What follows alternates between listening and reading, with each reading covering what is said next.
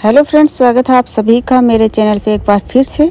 और आज की इस वीडियो में मैं आपके साथ शेयर करूँगी कली वाले लहंगे की कटिंग एंड स्टिचिंग तो ये हमारा है, वो फैब्रिक है। इसके ऊपर हमारे गोटे का काम है और पूरे ही फैब्रिक पे गोटे का काम है। तो सबसे पहले हम क्या करेंगे, जिस फैब्रिक पे गोटा नहीं लगा हुआ है, उसको साइड से कट कर देंगे। क्योंकि कलियाँ निकालेंगे तो जिसमें गोटे का काम नहीं है, वो बीच में आएगी। तो कलियाँ हैं, वो अच्छी नहीं लगेगी। तो दोनों तरफ़ से मैं इसको निकाल लेती हूँ पहले। और ये हमारा तीन मीटर फैब्रिक है। तो इस तरह से हमने डबल फोल्ड करके और बिछा लिया है तीन भागों में। ये तीन पर्थ है हमारी डबल डबल और ये देख लीजिए इस तरह से। और इसकी लंबाई है हमारे लहंगे की, वो होगी चालीस इंची और जो फैब्रिक है, इसकी लंबाई है हमारी थर्टी नाइन प्लस हाफ़ यानी साढ़े उनचालीस इंची। तो ये हमारे, हमारी पूरी पूरी ही होगी। और फिर हम इसमें से कलियाँ निकालेंगे। तो हमारी पंद्रह कलियाँ होगी और कमर होगी हमारी पैंतालीस। तो पैंतालीस में पंद्रह का भाग देंगे। तो जितनी हमारी कली आएगी, उसमें एक इंच हम प्लस करेंगे, यानी सिलाई के लिए। तो तीन इंची की एक कली होगी और इसमें एक इंच हम करेंगे प्लस। तो चार इंची की हम यहाँ से ऊपर से एक कली निकालेंगे इस तरह से। और नीचे से जितना भी फेर होगा, वो हम कर कर लेंगे, जितना फेर होगा उतना। ऊपर से हमें चार इंची की कली लेनी है, एक कली हमारी चार इंची की होगी, और पंद्रह कलियाँ होगी टोटल।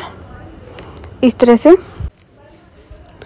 तो यहाँ से हम इस तरह से तिरछा निशान लगा लेंगे कलियों का। तो तीन कली है हमारी, ये साइड से दिख रही है, ये कट जाएँगी, और दो दो कलियाँ हैं हमारी इस तरह से। यानी चार चार कली हमारी वैसे कट जाएँगी। तो बारह कली वो हो गई और तीन कली हमारी ये हो गई तो टोटल हो गई पंद्रह कली। और बेल्ट है वो हमारा साइड से जो जिसमें हमने कपड़ा निकाला है, जो साइड वाला कपड़ा, जिस पे वर्क नहीं था, उसका हम लगा लेंगे बेल्ट तो हमारा जो लहंगा है, वो पूरा पूरा बन जाएगा तीन मीटर में। तो हमने यहाँ पर निशान लगा लिए हैं और अब हम कर लेते हैं इसकी कटिंग तो ये देखिए इस तरह से। लहंगे की कटिंग है, हो चुकी है। और नीचे से भी हमने जहाँ से तिरछा है, वो कट करके सीधा कर लिया है।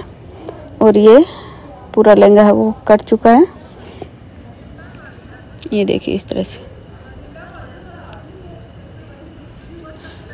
और अभी हम करेंगे इसकी स्टिचिंग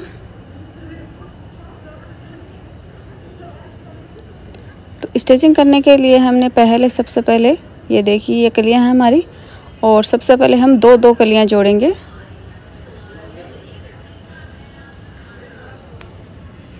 तो सारी कलियाँ हम जोड़ लेंगे इस तरह से आधा इंची का मार्जिन देते हुए।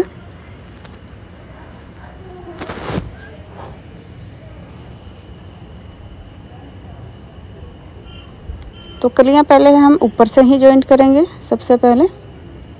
और इस तरह से हम पूरी कलियाँ जोड़ लेंगे।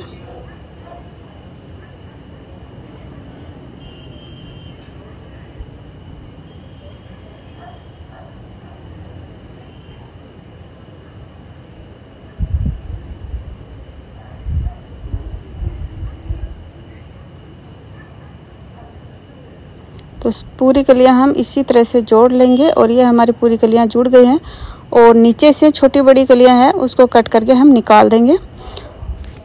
और ये है हमारा पेटीकोट, जो मेरा पहले साड़ी थी, उसका पेटीकोट है तो इसको मैं काम में ले लूँगी, क्योंकि लहंगा भी मेरा ही है, खुद का ही। तो ये पेटीकोट है पुराना तो ये मैं लाइनिंग के रूप में लगा लूँगी अंदर तो ये अंदर चुभेगा नहीं। तो इसको मैंने ऊपर से खोल लिया है और इसको इस तरह से अटैच कर लेंगे, दोनों को एक साथ में। और फिर लगा देंगे हम बेल्ट ऊपर का। इस तरह से अटैच करके फिर बेल्ट लगाएँगे और नीचे से हम पेपर पेस्टिक देके और फोल्ड कर देंगे। ये देखिए, इस तरह से अटैच कर दिया है। और नीचे से भी हम पेपर पेस्टिक लगा के फोल्ड कर देंगे। और ये हमारा है, वो लहंगा बन के रेडी हो गया है। ये देखिए, बहुत ही ज़्यादा फिनिशिंग आई है इसमें। ये देखिए, बहुत अच्छा बना है। और ऊपर से जो बेल्ट लगाया है वो मैंने प्लेन लगाया है क्योंकि इसमें व्रक है जरी का तो वो अंदर की तरफ़ चुभे ना, इसलिए मैंने प्लेन ही लगा लिया है। आप है, वो वर्क का भी लगा सकते हो और बहुत ही सुंदर लग रहा है।